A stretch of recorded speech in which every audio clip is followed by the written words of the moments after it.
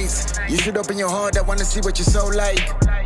Low life, but I'm telling you to go. What's up, guys? Welcome back to Halfman Half My name is Ben, your host. So, as you can tell from the title of this video, I'm excited to let you know that if you have an iPhone device that you're hoping to update to iOS 17, the official release date just got closer and the release candidate version has just been released. So, this iOS 17 release candidate version that we have today tends to be the last beta before iOS 17 is released to the general public. The estimated ETA for the official release is next week, Monday, September 18. I'll be covering it here on the channel, so definitely do subscribe so that you don't miss it out. And if you have a newer iphone if you're getting the iphone 15 that has just been announced that is going to be supported.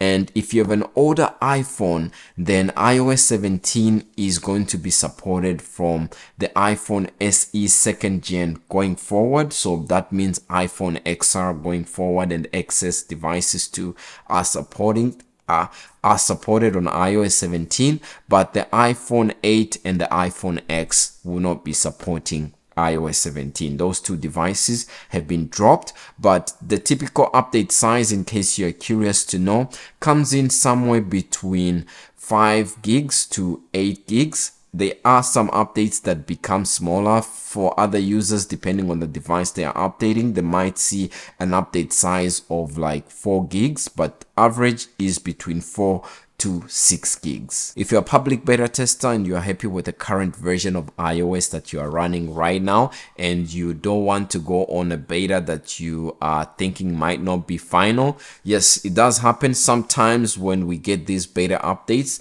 they might be able to see like room for improvements or some bugs and issues and in that case, Apple tends to release like iOS 17 RC2 but in order for us to be able to tell we need like three days and see if to be able to see if that's going to be the case. But typically the this rc that we got today is the one that tends to be final but there are the odd and ends that i thought i should let you know of. Now, when it comes to some of the changes that are being seen by different users that have updated to iOS 17 RC, the first one, well, if you go into your device and you make sure it's updated to the release candidate, a number of users are being greeted by the new hello screen, which is one that you typically see when you set up your device for the first time.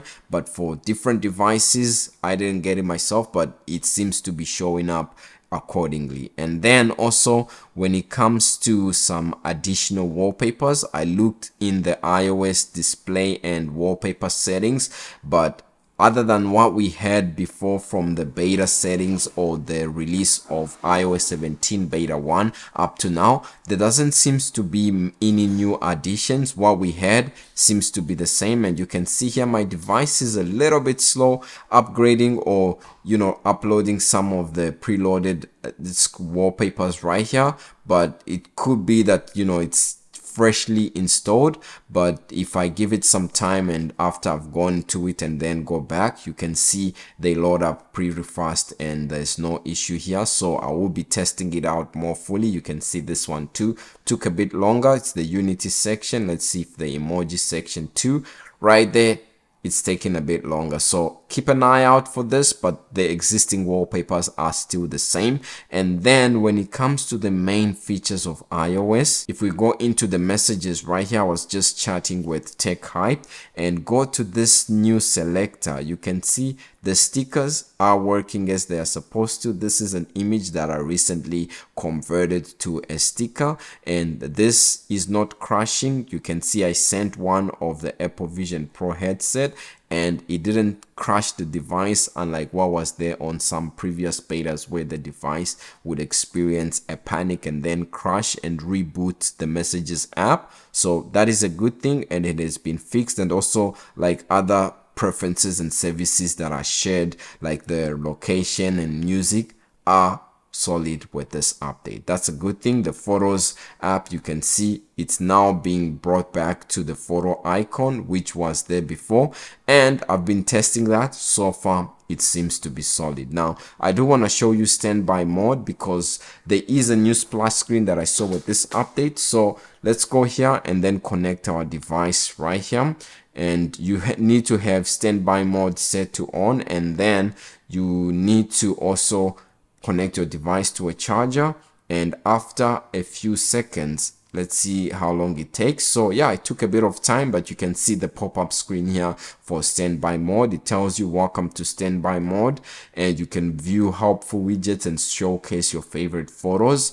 And this is a new setting that's here with ios 17 and you can see with this release it's working as it's intended to. That's a nice new setup. And then something i wanted to show you here has to do with maps. I won't be opening maps but maps now has the ability to allow you to save a specific section for offline mode. Sometimes what i noticed with this beta update is that the sections that i would have saved were not always loading and i would have to re-download them. But when i opened up maps that seems to have been fixed as a resolved issue.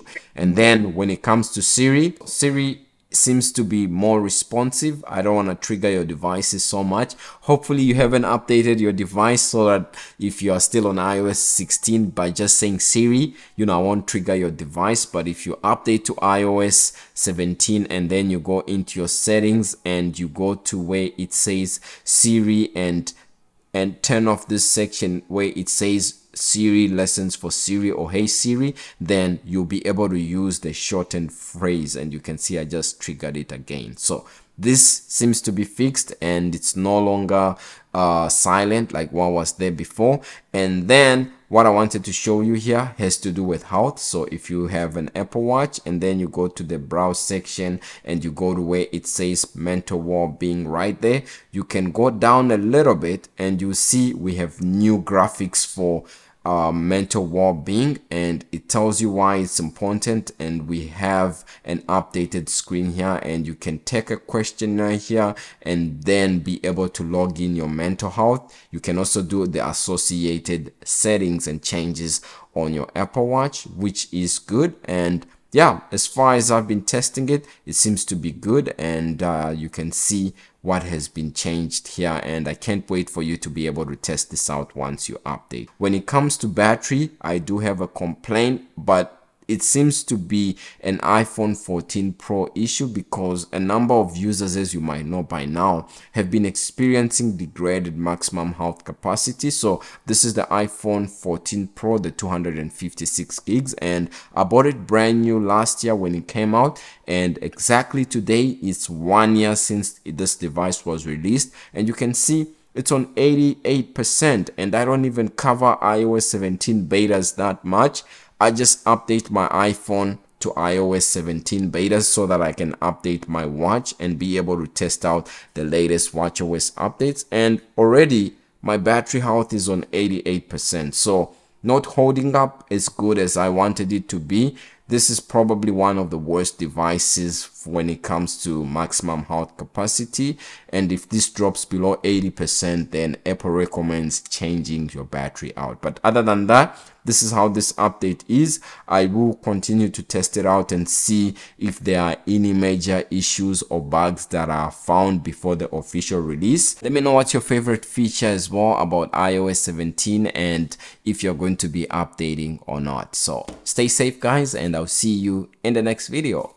Peace I come to paralyze the leader red Rumors antagonize the dinner dates. Some devastation from the paper pen. I make the papa leader red I only meditate some killage Vanilla don't spill the conscience. Steal the kids. Once was affected I no longer breathe. I'm wide awake and the atmosphere. Is solitaire The secret tidal wave is seated like the Navy. We don't like to try to display Conversation flipping on the Bible page